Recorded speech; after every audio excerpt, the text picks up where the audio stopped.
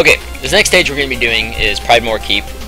Um, now I'm very specifically staying out of this stage because the first screen in this game, um, it's pretty important that you do it basically perfectly so that you can hit a cycle at the end of the screen. Um, so I'm going to come into the stage and I'm going to show you how to do the first screen perfectly. So you come into the stage again, you want to to jump as soon as you start out, and then just hold right basically. Bounce off of this guy doesn't matter. You want to bounce off of this guy, get on, onto this ledge, hit that first dirt block and slash, and then just keep on going. And I did it right there, and as you saw, I got past um, that second lava pot without getting hit by it, and entirely holding right. So that's a pretty important thing um, thing to note. If you do that screen perfectly, um, and if you do that screen perfectly, then you'll hit it. And again, important thing to note, you do have to jump, or you do have to bounce off that second beetle, land on the platform, and then jump and hit the dirt blocks. Only hit one of the dirt blocks. Um, just hit it, slash, and then keep on going. Um, if you think that you won't make it, you can turn around a little bit and then damage boost off of it so that you kind of bounce back and do just like kind of make up for it a little bit. But it is best if you if you do it right. Um, this next screen, come up here and bounce off of that lava pot so you uh, get that damage boost to get up here. Um, if you do the scream fast enough, you can technically um, get past here without having to damage boost off the lava pot before it even bounces, but um, uh, I don't honestly don't know even know how to do that. It's and it's not really that big of a deal. Um, an important thing to note that I did there. Uh, these rats are completely random. Like their movement is entirely random. They can decide to go whichever the hell way they wanted. You really have no way of affecting it. Um, so we kind of went a little bit lower there. So after I came through there, I did bounce on him so he wouldn't get in the way. Um, normally, if once you hit this dirt block, if he's high up enough, then if you're close enough to the dirt block, then you will just hit him, hit, hit the rat as well as the dirt block. So it's an important thing to note that um, you don't have to swing twice to hit the rat. You will hit the rat along with the dirt block if you time it right. Um, and the rat RNG is actually a problem here. If he goes too low, um, there, that first rat, if he goes too low the first time he moves, he will be a problem and you won't be able to get past. Um, also, another thing that's important to note that I did was you bounce off of the right side of this wizard, um, like right there, and then you'll bounce, you'll hit the ceiling that's right here, and then bounce off of the beetle, and then come right up here. Um, if you bounce on the left side of him, then you uh, will just slam into this wall, so you don't want to do that. Another important thing to note in this stage is we're going to be breaking all of the checkpoints. The fastest way to break checkpoints, uh, as far as I know, is just come up and hit it, uh, jump hit three times with the shovel, you know, twice in the first jump and then another time on the third one, and then just grab the ruby uh, in the middle, or whatever it is. Uh, the gem in the middle, rather. Um, and ones like this, where there's just rocks around it, where they're only worth one apiece, it's not really a big deal if you miss, um, if you actually miss, like, getting all of the rocks. But in some later levels, when we're going to start seeing higher higher value gems in the checkpoints, uh, you'll want to try and grab as many of the gems as you can. Epic duel with this guy. Again, if you get close enough to him, he'll always put his shield up. Um, even if he doesn't, he'll only just slash forward and you can go past him. So it's not a big deal. Uh, this guy, it is important you can get past this guy uh, without like exiting this little hallway. Like you have to bounce on him at the right time. Uh, this is the next checkpoint. You want to break this. Um, important thing about this room, since these chandeliers are falling whenever you get near them, you want to kind of just do short hops, especially on that one above the spike pit.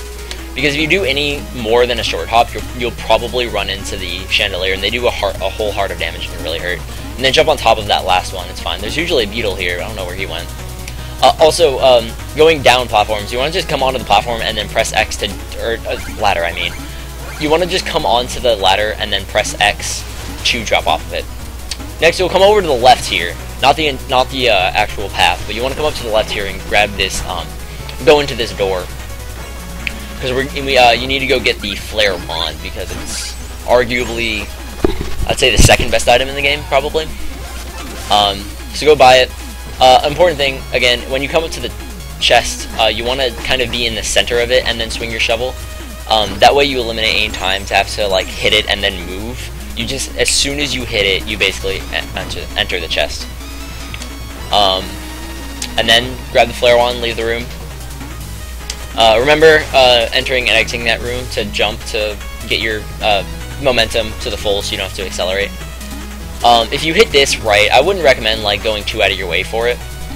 But um, if you hit that, uh, you can kind of hit that um, that uh, platter there uh, while you're jumping up. Um, I want to kind of get it here, just like like that, and it doesn't really waste too much time getting it. I want to get it here because um, there's a faster way to do this part right here, um, and that is to turn around here. Oh, I messed it up. Oh, well, you want to turn around and bounce off of his fireballs backwards, so you want to be facing to the left, so then you bounce to the right uh, off the fireball. Um, if you only have one heart and you don't want to get that platter, uh, if you time it right, you can jump so you just narrowly avoid his fireballs and then just hit the griffin's face. Um, it is a pretty tight jump, you would have to get used to the timing. Um, but if, if you only have one heart, then that's the best thing to do. Uh, as far as these rats go, you can kind of bounce off these first ones. I wouldn't recommend bouncing off these ones, though. Um, you can bounce off the first two and then just go past the second one. Um, but if you miss that and just bounce off the uh, off the third one, I mean, uh, if you do miss that and bounce off the third one, then you will end up losing a lot of time. So I just like to shoot the flare wand at them. Um, also, there's the platter with the apple right here. I, I grab that if um, usually, um, even if you get the the platter three screens before, um, just because it, it's nice. Come down here, this room, hit this chandelier, just damage boost off that guy, and then go to the left here, or to the right rather. Bounce off this knight. Oh, I kind of missed that, but you're supposed to, after you bounce off him, you kind of want to jump off the edge of the dirt there. Jump up here, bounce off the book.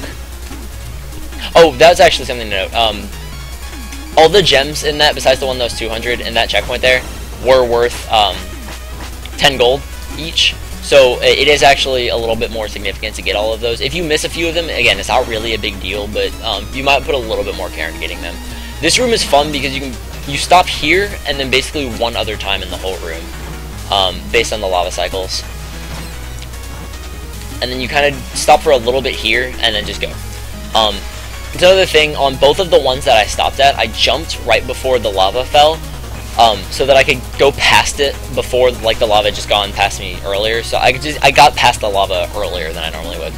Also, if you really want to, King Knight is in two screens here, and you will take a half heart of damage in the next screen. Um, so you can grab this chicken here if you really want it. And then you come up here, uh, bounce off this guy. And this checkpoint is... There's no good way of getting it, really, just because of the low ceiling. But anyway, that's Pridemoor Keep. Um, it's a, a, simple stage. It's really not that difficult, but it is easy to mess up. You can there's a lot of bottomless pits that you can very easily just fall into and lose your whole run uh, if you're at that point where you would reset here. Um, but anyway, that's Pridemoor Keep.